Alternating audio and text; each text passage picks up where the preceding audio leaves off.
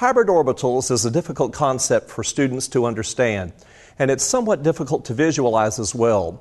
I'm going to use some balloons today to help hopefully the students to be able to understand something about what a hybrid orbital is. Let's start at the board first to look at the electron configurations of what we're working with. Carbon is the king of hybridization. Carbon with its four valence electrons would normally be expected to have two electrons in the s orbital and two unpaired electrons in the p orbital. Hybridization is a method that scientists use to explain the, the mysteries and the wonders of bonding. If I were to ask you to explain what love is, you could all give a definition, but it would be difficult for us to arrive at a single definition of what's happening. Well, hybridization is a way that scientists try to explain the mysterious process that takes place inside of atoms using concrete things that we can look at. So, as any model, it's incomplete, but it helps us to get a picture in our mind. If carbon had two s electrons and two unpaired p electrons, we would expect to see some subtle differences in the bonding that would take place, for example, in a molecule of CH4 methane, where we have two of those would be sharing an s electron and two of the electrons would be shared would be a p electron. That's not what evidence shows us. So scientists have developed a model called hybridization in which they say that the carbon, for reasons of energetics that we'll not go into today, but that that carbon takes one of the paired s electrons and it promotes that into a p orbital so that instead of having the typical s2p2 configuration, we would then find an s1p3 configuration. Then what happens is that those s electrons and those p electrons they combine together in different combinations that we'll represent with balloons here in a moment. If carbon takes its s electron and all three of the available p electrons and puts them together into the atomic mix master blender, puts them on puree for a few moments, it comes up with four completely similar, very uh, homogeneous orbitals that we call sp3s because it's made from an s and three, all three p orbitals. If, on the other hand, the carbon atom takes and puts the s electron and only two of the p electrons that are available into the atomic mix master blender. Then what it does is it produces an s2p, uh, excuse me, an sp2 orbital, and one of the p orbitals remains unhybridized, and we'll look at that in a moment. The last example is that if we take the s electron and only one of the p electrons, leaving two of them unhybridized, then what we have is called an sp hybrid, and that will produce a slightly different configuration. Now, if we come back and take a look at that with balloons, I think that we can see a little bit of um, common sense with the process. If we take the four balloons, and the technique that I use to tie the balloons uh, is a technique that we use for different types of classes. I'm going to take the two balloons, and I'm going to take and stretch one neck out, and then I'm going to twist it around the neck of the first balloon and I'm going to wrap it around there maybe two or three times as I've got that neck stretched out. Then I'll reverse and I'll stretch the other balloon out and wrap the neck of the second balloon around the neck of the first balloon. And I know that's difficult to see, but the technique is such that you stretch them out, and then when you release those balloons and the necks, the compression pulling that back in keeps those balloons temporarily locked together so that we can use them for our demonstration. So, what we have is this is an sp3 hybrid. This is one electron, not a pair, but one electron of what we would call the sp3 hybrid atom. So, we're going to see, as from the board there, that there are four of those when we have our sp3 hybrids. So, here are three of the sp3 hybrids. And here's the fourth one. Since these are identical electrons, here's the carbon atom in the center. This is an sp3 electron, an sp3, an sp3, and an sp3 here. These four electrons are negatively charged and they repel, and the shape that they result in is a completely uniform tetrahedron. The bond angles here would be exactly 109.5 degrees, and this is what we believe the methane molecule would look like. For example, CH4. There would be extreme uniformity and regularity in the molecule. and that process takes place, and we have the sp3 hybrid. Now, if I could have just a moment to make another set of those. We twist the necks of the balloons together. We add a third.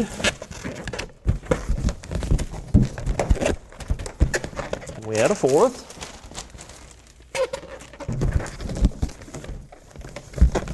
If I could have two volunteers, please, to help me with this for just a moment.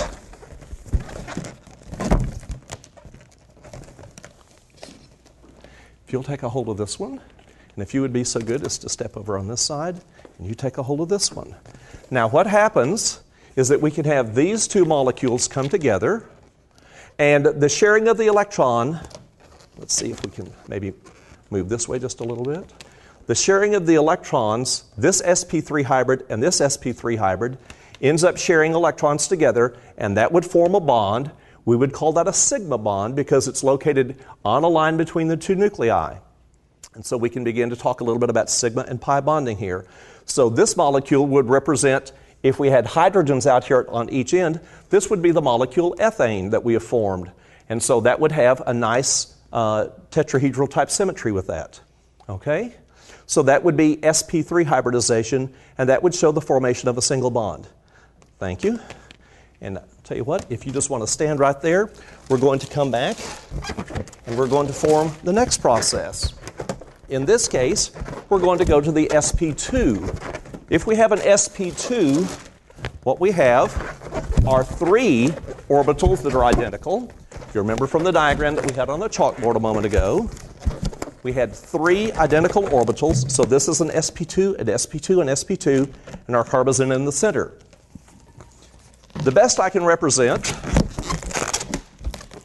would be this balloon to represent the bilobed p orbital. Remember that the p orbital has two lobes. So this is an sp2, an sp2, and an sp2. And here's a p orbital. The p orbitals form above and below the plane. And I'll give you that one to hold. And we'll construct one more of those.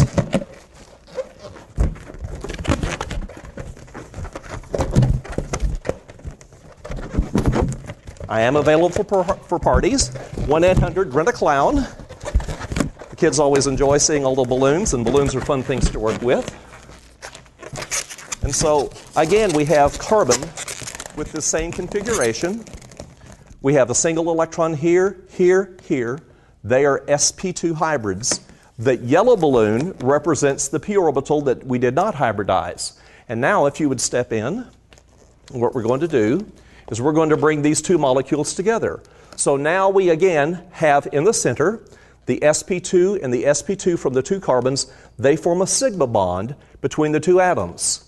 The unhybridized p orbital, hand up here please. Thank you. Hand down here please. Thank you. The p orbitals above and below the atoms overlap and they form what is now called a pi bond. Pi bonds are difficult for students to visualize, and I don't even attempt to draw them on the board because they're much more complicated than my meager skills can do. But we get this picture now of what a double bond looks like.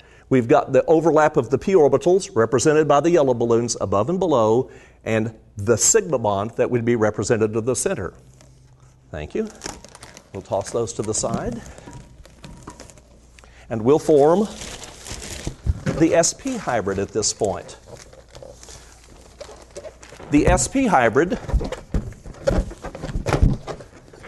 excuse me, has two orbitals which are hybridized. But remember from our diagram previously that it also has p orbitals that are unhybridized, not one, there's one of the p orbitals, but two.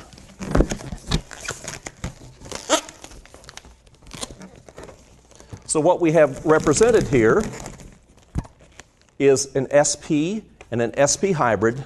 The blue represents an unhybridized orbital here, and the yellow represents an unhybridized p orbital here.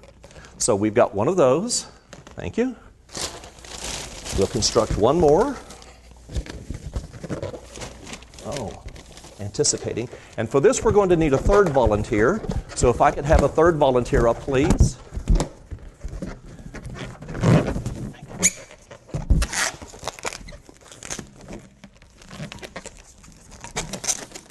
So, again, the same process that we had. We've got the unhybridized orbitals that are the p orbitals. I'll let you have that one. Let's see, we've got to orient it like this. And you're going to come around the back. Great. So, in the center, as we've had before, this is an sp and an sp, and those overlap along the plane of the nuclei between the atoms. That forms a sigma bond. It's a sigma sp, if you want to call it that. As we had before, hand on top, and down below, hand on bottom. You're great. That forms the P bond that we had before, the pi bond. And so there's the double bond arrangement that we had. Then, hand in front. Great. And back behind. Yeah, this gets complicated. Now we have that third pi bond, which is located inside of that. So we have the sigma bond in the center, which is the stabilizing bond. We have one pi bond here, and we have the other pi bond around the center here. And that gives this nice visual picture for the students. If you want to get complicated with this, then you could actually have yet another set, and you could show a double double bond, two double bonds next to each other, which also require SP hybridization to make that happen, depending upon what level that you want to move with with your students. Thank you for the help there. You may be seated. The, the use of balloons to to show bonding is not a new process, but perhaps the use of these long, skinny balloons would be a little bit of a different take and would help you to be able to explain to your students what a pi bond is, how a pi bond is different than a sigma bond, and what a multiple bond would look like inside of an atom. And so that's how we could perhaps use balloons to help us understand hybridization and multiple orbitals.